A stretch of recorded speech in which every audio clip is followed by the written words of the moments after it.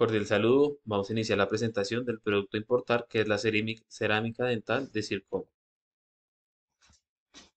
El producto que vamos a importar es la cerámica dental de circonio. Este producto son cerámicas dentales, ya que es un producto que nos permite reemplazar los dientes de las personas de una forma más rápida, limpia y eficaz, buscando minimizar el tiempo de la elaboración y utilizando tecnologías de punta para una elaboración e instalación dental del paciente de una forma más eficaz.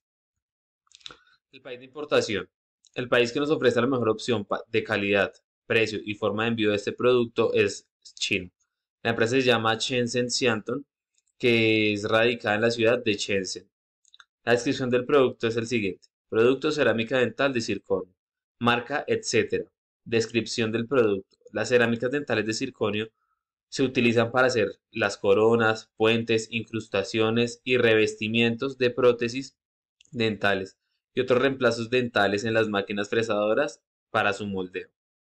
La composición de este es el siguiente. Bloques de circonio que se componen de los siguientes elementos. Óxido de circonio más óxido de itrio en un 99%.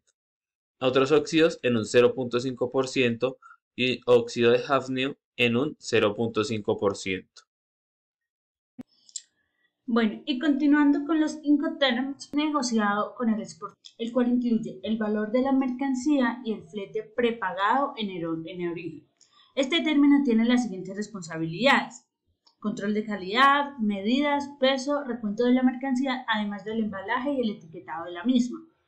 También eh, entregar la mercancía al transportista contratado por el vendedor en el punto de entrega a la hora acordada. En nuestro caso se tomó la opción de contratar a la empresa UPS y Universal Service, ya que tiene representación directa en Bogotá y es de fácil contacto para hacer el seguimiento respectivo a la mercancía junto con la guía aérea.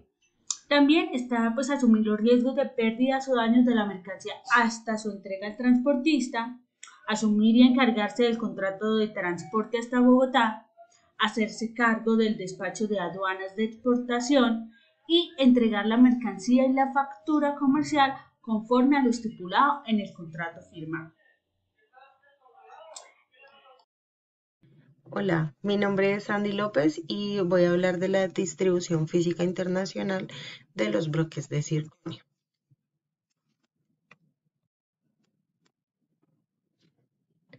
Bueno, em, el exportador entonces, como ya lo habíamos visto, es Shenzhen Xiantong CO.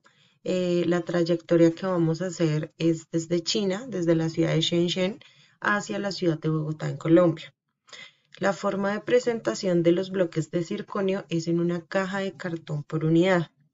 La dimensión de esta caja es de 8 centímetros de largo, 6 centímetros de ancho y 2 centímetros de grosor. Como podemos ver, pues es una caja relativamente pequeña.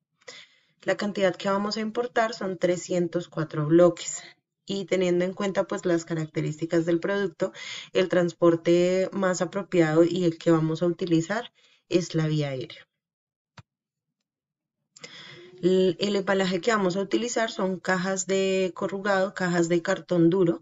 Eh, vamos a utilizar cinco cajas, cada caja va a tener en su interior 51 bloques Em, y la última caja, perdón, son seis cajas. La última caja tendría en su interior 49 bloques para proteger la mercancía porque lo más importante es, es proteger la mercancía y minimizar los gastos. Vamos a proteger cada caja con un papel burbuja. Este papel va a evitar que dentro del el corrugado, dentro del cartón, pues los bloques de circonio rocen entre sí y se vayan de pronto a dañar. Vamos a colocar un rotulado. En este rotulado pues vamos a enumerar las cajas para tener siempre protegido que lleguen las, las seis cajas. Vamos a colocar en el rotulado una de seis, dos de seis y así hasta llegar a seis de seis. Cada rótulo debe tener la dirección, el teléfono, el contacto y la zona aduanera que en este cargo es a intercarga. Adicional a esto, pues por el tipo de producto que nosotros vamos a manejar, debemos colocar el rotulado de mercancía delicada. Gracias. Modalidad de importación. La cerámica dental de circonio tiene la partida arancelaria 8109990000. Su gravamen es del 0% y el IVA generado es el 19%. Por lo tanto, esta subpartida no tiene ninguna restricción y como la deseamos dejar en el país, es una importación ordinaria. Los documentos para esta modalidad son los siguientes. Tenemos la factura comercial, la cual debe contener moneda de negociación, términos Incoterms, para nuestro caso es PPT, CPT Bogotá, forma de pago del producto, que es, eh, en nuestro caso es para 45 días, se va a girar posterior al despacho, nombre completo del exportador y sus datos, que son Chensen, el nombre del importador, que es Ivomark, y la descripción completa del producto, que son los bloques de Circon.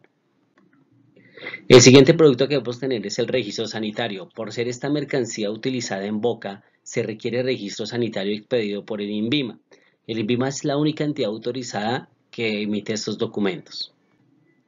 El siguiente documento es el registro de importación. El registro de importación se elabora por medio de la Ventanilla Única de Comercio Exterior, BUCE, que es esta entidad la que nos eh, determina cuál es el proceso eh, y la autorización para presentar el registro de importación para nuestro producto. El INVIMA siempre eh, va a estar ligado a la BUCE para demostrar que el registro sanitario que estamos registrando en este documento sea legal. El siguiente documento es el documento de transporte. En nuestro caso es UPS, la entidad, la empresa que se escogió desde, la exportación por lo pequeño del producto y además eh, desde China sale muy económico vía aérea nuestra mercancía para importar. Siguiente documento es la declaración de importación. La declaración de importación la elabora la agencia de aduanas una vez reúna todos los documentos y se efectúe la correspondiente preinspección de la mercancía para verificar que lo que está en la factura comercial sea lo que realmente llegó eh, físicamente al depósito aduanero. Una vez se haga esta confrontación, la agencia de aduanas elabora la declaración de importación con todos los procesos y documentos que nosotros les hemos entregado, incluido el manual, el mandato para ellos, para que ellos intercedan ante nosotros, ante la DIA. como nuestro producto supera los 5 mil dólares, también debemos presentar la declaración andina del valor.